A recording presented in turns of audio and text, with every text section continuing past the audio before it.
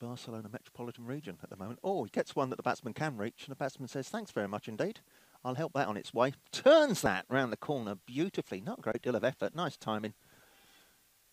And that could easily have taken an edge on another day. Anyway, let's see if he can get his radar right. Well, radar or not, the batsman said that is exactly in my slot.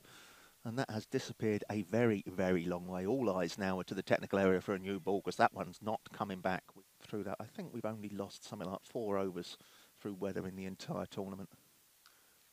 a wristy cut into the offside. For a moment interests the man at backward point, but in the end it sails over his head. Four runs. Now Aziz Ali, right arm over. Talking about the city, that ball is somewhere towards the city centre.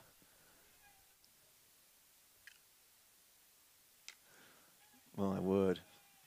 Now that is a very, very well hit shot. It wasn't the best of balls, admittedly, but it was absolutely punished. It didn't get more than about oh, what, four metres off the ground, really, did it? And he just thumped that to the mid-wicket boundary. Oh, full toss, dispatched. Not a good ball, but they still need hitting. And Syed Shafat says, yeah, I can hit that. That'll do for me very, very nicely indeed. That's a nice shot as well. Oh, and that's a shocking, shocking misfield. Now, we saw a, a bad misfield there when um,